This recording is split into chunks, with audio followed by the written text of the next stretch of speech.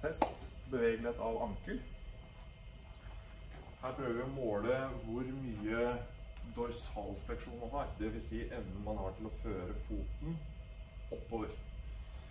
Det man da gjør, man steller foten og kroppen mot en legg eller en stolpe, som jeg gjør i dette tilfellet. Herfra nå så er målet mitt å føre kneet over foten, samtidig som jeg hele veien prøver å holde hælen i bakken. Og det vi er på jakt etter her nå, det er å ha At vi kan ha foten målt fra tåa ca. 10 cm fra veggen.